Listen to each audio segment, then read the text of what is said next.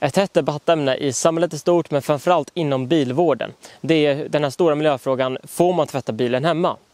Det här är en fråga som diskuteras väldigt mycket om på olika forum. Vi får många kunder som hör av oss till, sig till oss och undrar över det här. Vad säger egentligen lagen? Vad säger kommunen? Är det förbjudet? Är det inte förbjudet? Står det uttryckligen i lagen att man inte får tvätta bilen hemma? Eller vad är det som gäller? Vi kommer reda ut lite det i den här videon. Vi kommer även att kika på hur man kan göra det så miljövänligt som möjligt om man måste tvätta bilen hemma. Om det är så att man inte har möjlighet att ta sig till en tvätthall.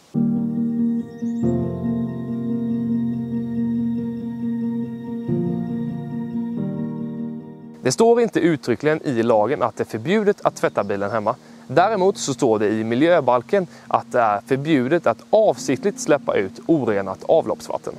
Sen finns det även en del lokala bestämmelser från kommun till kommun. Och i Stockholms stad så till exempel står det så här.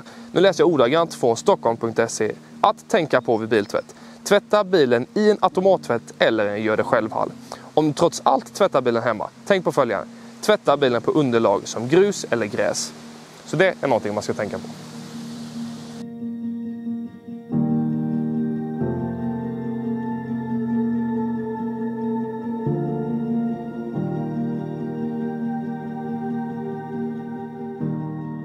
Att tvätta bilen gör också att man motverkar att slitage och skador uppstår. Tvättar du inte din bil så är risken stor att du kommer få rost och korrosionsskador vilket gör att den inte kommer hålla lika länge. Att tillverka en bil har ju såklart sin miljöpåverkan och därför så är det så bra om man kan återanvända bilar i den mån det går och slipper att eh, helt enkelt tillverka nya hela tiden på grund av att man inte tar hand om sina egna bilar. En välvårdad bil har också ett högre värde vid sin försäljning jämfört med en bil som man inte har tagit hand om. Vi rekommenderar som sagt alltid att man ska tvätta i en tvätthall. Men ibland så bor man ute på landet, som här till exempel, långt ute på vischan. Och då kan man ha en bit att åka till tvätthallen. Då blir det såklart en del bränsleutsläpp, vilket i sig inte är bra för miljön. Så det är något som man ska ha i åtanke också. Och om det är så att du bor inom ett vattenskyddsområde, då är det direkt förbjudet att tvätta bilen hemma. Om du inte av en händelse har en egen tvättplatta med en godkänd oljeavskiljare. Med tanke på att den här bilen redan är skyddad så kommer det räcka med att bara göra en underhållstvätt. Så vi kommer lägga på ett skum på den här bilen eh, och det kommer vara alldeles utmärkt att räcka för att få bort den smutsen som finns nu. Så att eh, vi kommer inte köra någon, någonting mer som man gör en grundrengöring, alltså någon typ av kallafettning eller flyggasborttagare så, utan vi kommer bara att lägga på det här skummet. Vi kör igång!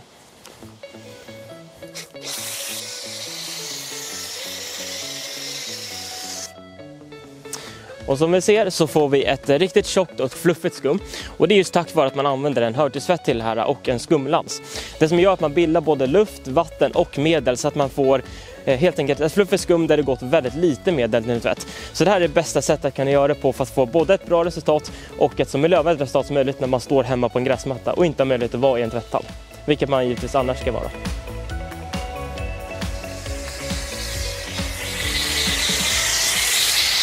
Medlet som vi använder nu är King Carter Control Snowfoam. Det här är mycket bra att använda vid underhållstvätten för det är säkert mot ditt vaxlager och samtidigt så är det biologiskt nedbrytbart.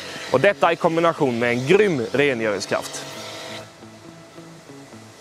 Grundidén är ju faktiskt att man tar hand om bilen och för att få bort kära och asfalt som ofta sitter på bilen så måste man använda en klassisk kallavfettning eller ännu hellre en kärlösare som är dedikerad för just detta. Eh, och de här medlen innehåller ofta petroleum. Men vi rekommenderar den här produkten som heter Valipro Citrus Tar Remover. Och den innehåller även citrusoljor vilket är framställt ur naturen och det är faktiskt lite bättre. Så, och den här är grymt effektiv för att lösa kära också. Men nu är det som sagt bara en underhållstvätt som vi gjort här med skum så nu kommer vi inte använda detta medlet.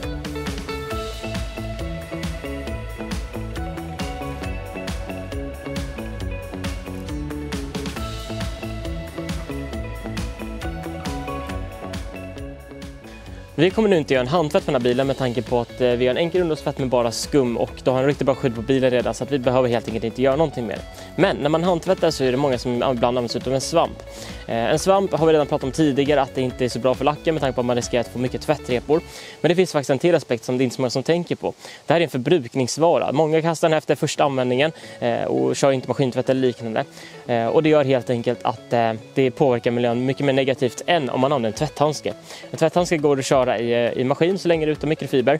Inga konstigheter utan du bara kastar in i maskin så får man eh, helt enkelt en, en hållbar produkt som går att använda flera gånger om. Så det är mycket bättre för miljön.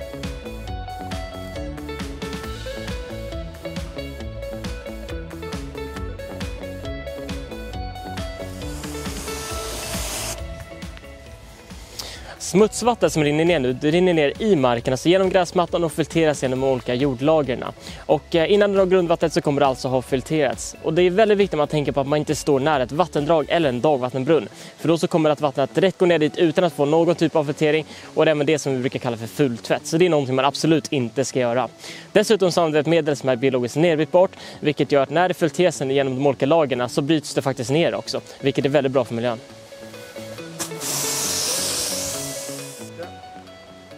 Sådär, då har vi tvättat klart ju. Jajamän.